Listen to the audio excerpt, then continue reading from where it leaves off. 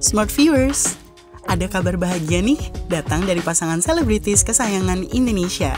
Yap, siapa lagi kalau bukan pasangan Leslar atau Rizky Bilar dan Lesti Kejora.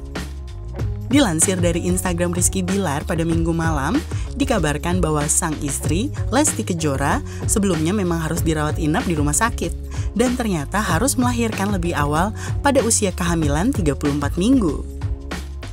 Dengan segala perjuangan yang dilalui keduanya, khususnya si cantik Lesti Kejora, akhirnya buah hati yang ditunggu-tunggu tak hanya oleh keduanya, namun juga netizen Indonesia, akhirnya lahir dengan sehat dan selamat.